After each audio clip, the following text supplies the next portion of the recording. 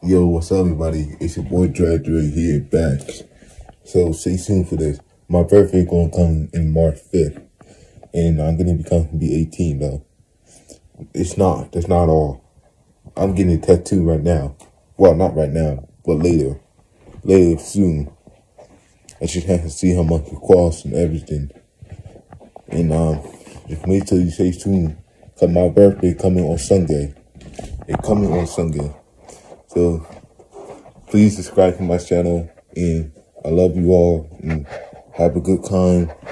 And now that's all.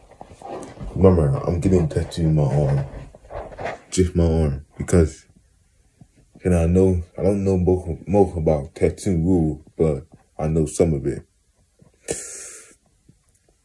The tattoo will stay with you forever. And even though it gets old and old and old, it's going to stay you for permanent. The only way to get rid of it is to ask the artist to get rid of it or wash it or whatever. But honestly,